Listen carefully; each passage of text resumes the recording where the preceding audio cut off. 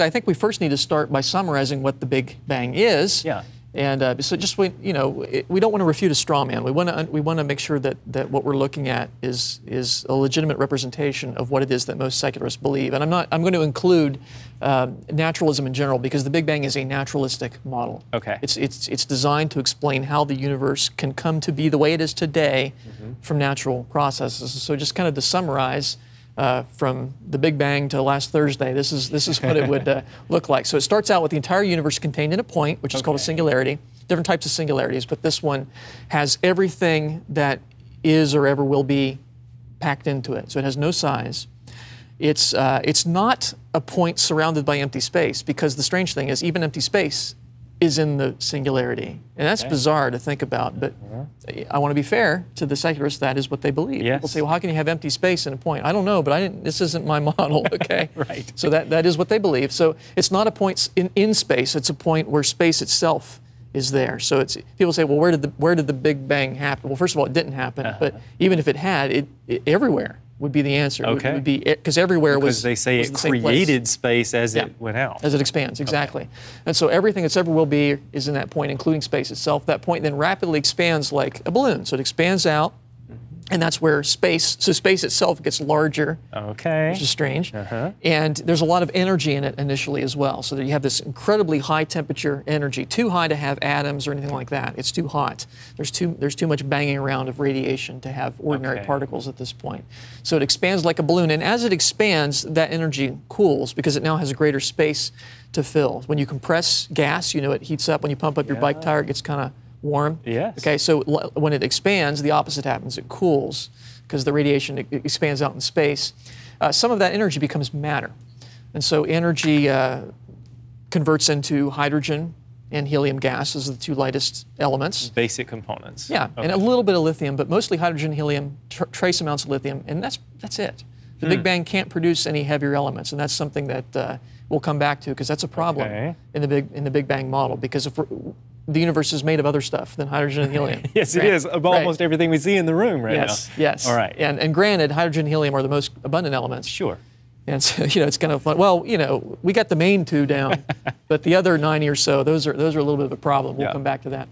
Uh, the matter then condenses into stars and galaxies. So the idea is that hydrogen gas comes in and, and, and because of gravity, it, cr- it collapses in and becomes stars, Okay. and those stars are organized into galaxies. Galaxies. Now, some of those stars, the really heavy ones, the really massive ones, are able to fuse, theoretically, the uh, elements to make heavier elements in the core. So they convert the hydrogen, helium into heavier things, carbon, nitrogen, oxygen, and then the heavier things all the way up to iron.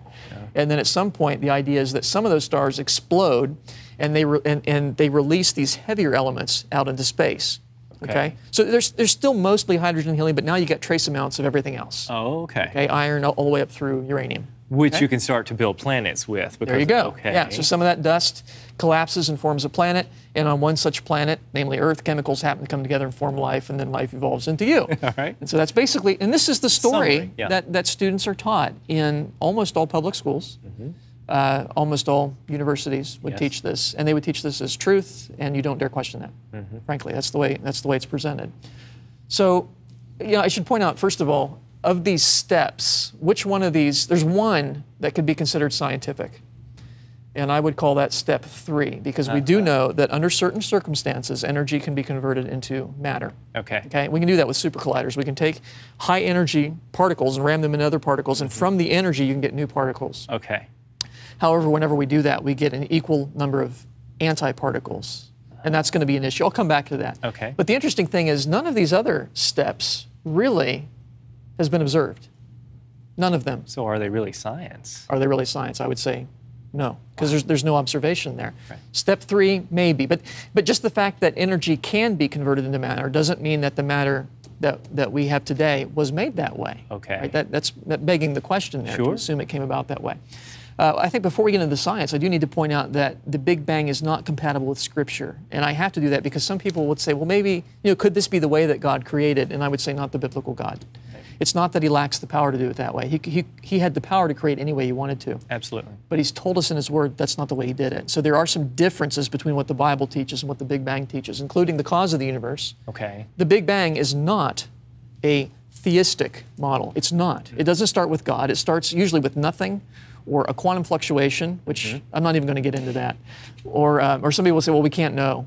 And that's at least an honest answer, but it's not a very good one Right. because not knowing is not a sufficient cause for the universe. The Bible tells us God created the universe. That's right. And God is a sufficient cause to create the universe. He, can He do that. is. He's infinite. He's outside of the natural realm of physics, so it was a supernatural, I believe. Right, absolutely.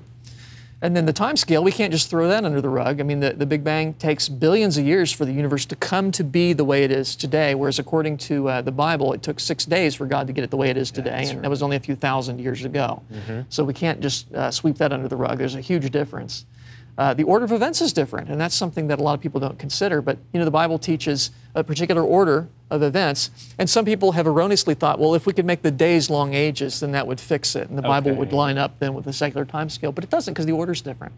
The Bible teaches that the Earth is made on day one, One. stars are made on day four. Four. The Big Bang teaches stars evolved long before the Earth. That's true. They're allegedly billions of years old, and the, Earth's, the Earth's only 4.5 billion years, much younger than those. Right, so it's got the order completely reversed. Order's different, yeah. And, and frankly, uh, the, the, again, the naturalistic model would say that, um, that fish evolved long before trees, but the Bible has trees before uh, fish, for example, fruit trees in particular. and even that dinosaurs evolved into birds, Birds. and yet those days would be switched. Exactly. Okay, so it's not compatible. Not compatible. You got to decide which one you're going to believe. You can't, you can't harmonize them. They are different.